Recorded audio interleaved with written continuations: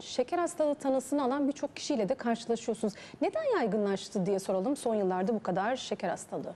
Evet tabii şeker hastalığı e, ad- aslında adı tatlı ama e, ilacınızı kullanmazsanız, diyetinize e, uymazsanız sonuçları acı olabilen bir hastalıktır. Evet. Onun için e, bu konuda çok dikkatli ve özenli olmak gerekiyor.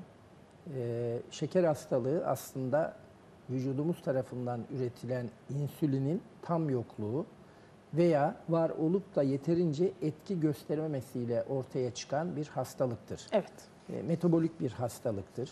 E, insülin yokluğunda ya da yeterli etki gösteremediği durumlarda e, almış olduğumuz gıdalar, karbonhidratlar, proteinler ve yağlar yeterince e, sindirilemez, e, kana karışırlar E, ama biz bunlardan yeterince faydalanamayız. Evet. Şimdi söylediğiniz soruda e, stres. Tabii stres tek başına şeker hastalığının e, başlatıcısı değildir.